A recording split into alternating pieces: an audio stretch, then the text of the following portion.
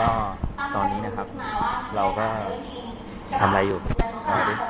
ก็ใช่ครับเราก็มาเข้าสู่การชมการ present ช่วงบ่ายของเรานะครับเอ่อตอนนี้เราอยู่ในช่วงเอ่อจรรยาบรรณสื่อนะครับคุณนั้นเขาได้กำลัง present อยู่ข้างบนเวทีซึ่งเสียงอยู่นะครับไม่ทราบว่าพี่บอลมีอะไรจะพูดบ้างครับก็ตอนนี้นะครับก็ present กันไปประมาณสามสี่ห้าคนแล้วนะครับเราเริ่มกันมาตั้งแต่ประมาณบ่ายโมงครึ่งนะครับเกือบบ่ายสองตอนนี้ก็ปาเข้าไปจะสี่โมงแล้วยังได้แค่ครึ่งเดียวนะครับแล้วทางพี่แซคว่าไงครับพี่ครับนี่ครับ present ยังเนี่ย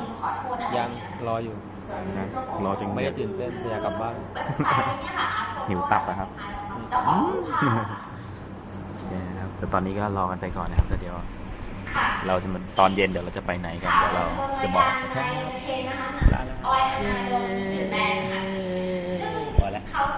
โอเคเดี๋ยวเจอกันตอนเย็นครับ ลาเด้อโอเคก็เจอกัน